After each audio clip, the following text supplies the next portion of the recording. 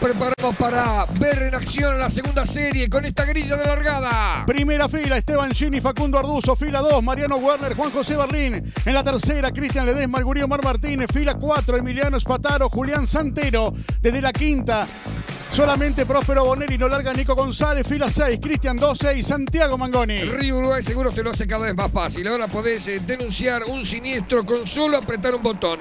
Eh, baja Rus Móvil de la tienda de los smartphones. Y Facundo Arduzo con la intención de neutralizar los puntos que ya ha sumado Josito Di Palma. Un Di Palma que hasta aquí tiene puntaje ideal. Arduzo se tiene que defender de Di Palma y también de lo que pueda hacer en la próxima serie Agustín Canapino. Señores, nos preparamos para la largada. Tienen que ponerse a la par después de esta señalización, balizas apagadas. Se viene la largada de la segunda serie. Tienen que ponerse a la par. Esteban Gini y Facundo Arduzo. ¿Cómo será? El avance hacia la primera curva mientras juega el Terlifraco. El Sport, el que respalda técnicamente con Kisling a este auto. El del tubo Gini, el que ve tan cerquita. Facundo Arduzo, listo para la largada.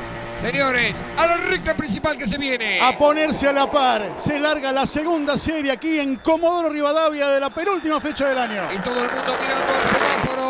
Alerta rojo, como se ve. Que venga el verde. Que venga el verde, pero bien verde para la partida. Y está verde, pero bien verde. Va a buscar Arduzo por afuera. Se tira por afuera, Arduzo, ya te digo. La trompa Levantó. la sacó, pero no. Le dejó Va, va, va, va, va, Pero va. mira el tercero, mira va. el tercero. Va, va, va, va. animar. Pero siguen en el duelo. ¡Opa! Un roce de pontón a pontón. Se quería meter Werner. Casi, casi Werner manotea un lugar.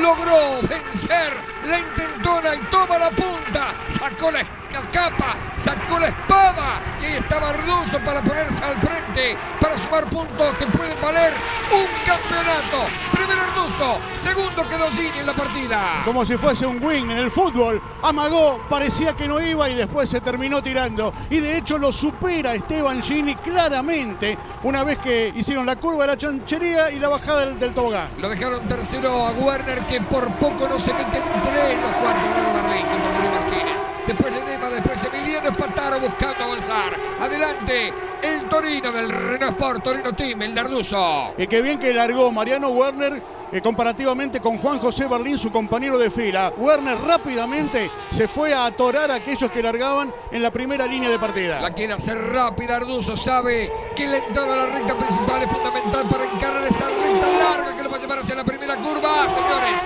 Un señores. Ahora sí, se abre el reloj 5 con el cronómetro. Y ahí lo estamos viendo. Arduzo, Gini Werner, Ebarlín, Martínez Ledesma, Espataro, Santero, Mangoni, Próspero Bonelli, Cristian 12. El orden en la fila india. Y Martínez le hizo la misma maniobra en la 1 a Ledesma, recuperó una posición en la largada. Mirá Santero como le busca pleito a Espataro y lo supera. Se mete por adentro el del Coiro Dole Racing. Lo baja Espataro. El séptimo lugar de Santero, el octavo de Espataro. Sigue el mendocino delante de Emiliano. Los dos torinos en lucha. Y qué diferencia de rendimiento entre el auto de Arduzo y el auto de Espataro. Compañeros de equipo, dos autos con 20 kilos de lastre. Así se largaba por afuera Facundo Arduzo. Vamos a ver el auto de Gini a la derecha.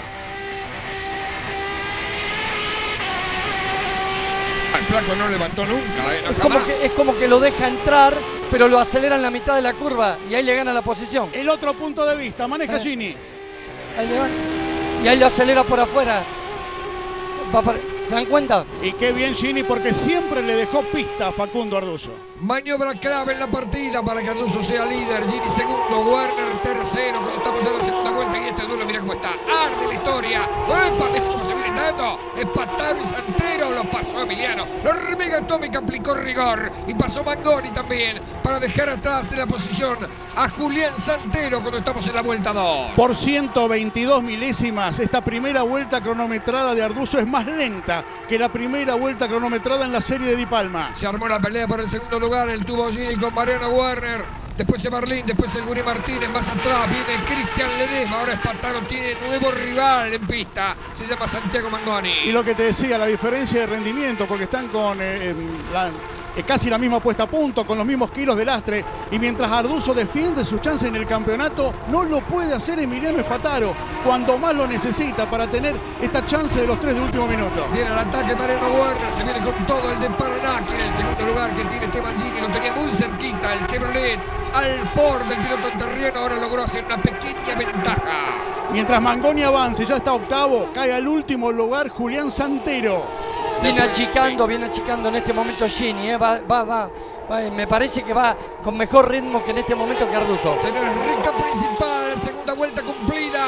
Vamos a bordo de la topadora de Quilmes. La maneja Gini. Camino a la primera curva.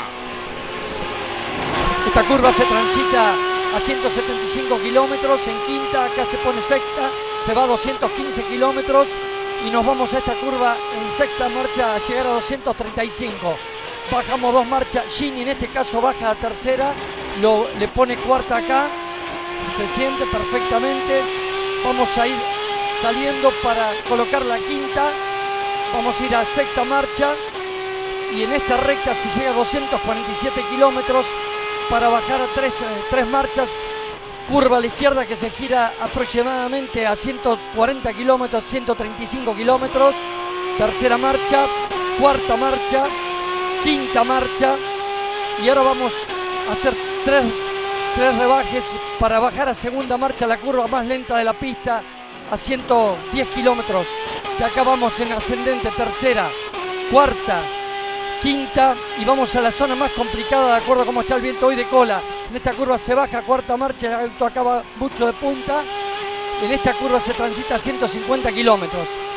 Cerramos la vuelta. Una clase de manejo con un campeón.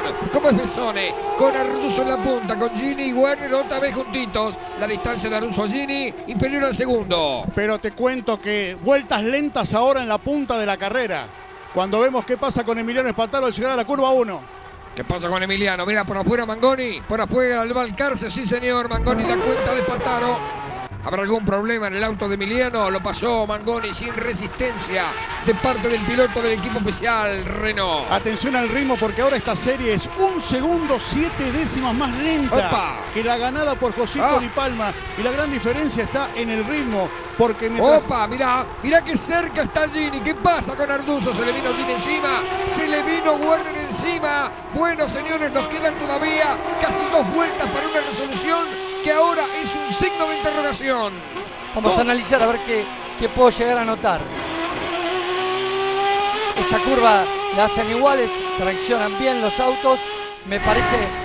A ver, de- quiero ver el auto de Arduzo, cómo sale la recta. Mucha trompa, ¿no? Y en el punto que sale, acelera, se le pone de golpe de cola. El auto está, en este momento está desequilibrado. Última vuelta de esta serie que gana Arduzo, pero que tiene presión de Gini. Gini tiene presión de Werner. Y si lo tenés a Werner en la espalda, agarrate. Porque el enterreno no te va a perdonar. Ahí viene Gini, ahí va Arduzo, va en camino a la curva del mar. A ver cómo frena Arduzo, a ver cómo frena Gini y que hará Werner. Sí, ahí está bajando una marcha más Gini y en esa parte donde pone tercera y ahí pone cuarta, le achica.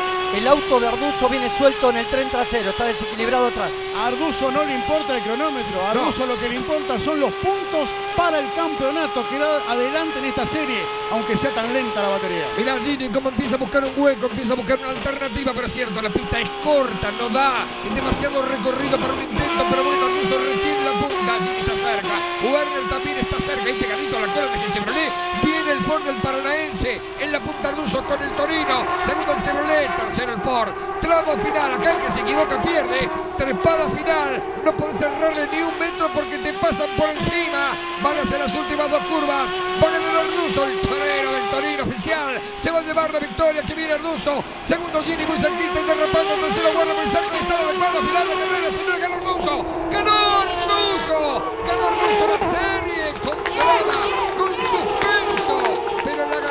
ganó normalmente, finalmente Arduzo, se lleva esos cinco puntos que valen oro para pelear el campeonato. Primero Arduzo, segundo Gini cerca, tercero Werner también cerca a la hora de la de cuadro. Hay un candidatazo que pasa a ser Di Palma. Porque en esta serie una condición distinta de la pista y también del viento, pero estamos hablando de una diferencia de tres segundos y medio entre una serie y la otra. Arduzo, un especialista en serie. Lleva ganadas 21 desde que corre en el turismo carretera. Superó a Gini por medio segundo, tercero Werner Pegado, cuarto Barlín, quinto Martínez, sexto terminó Ledesma, séptimo Mangoni que había largado último, octavo Espataro, noveno Santero, décimo Próspero Bonelli, un décimo Cristian 12, no largó Nicolás González. Señores, pasó esta segunda serie, la ganó Facundo Arduzo, falta una más para saber cómo se arma la grilla de la final. Arduzo nos lleva a la pausa, él se va a la zona de boxe.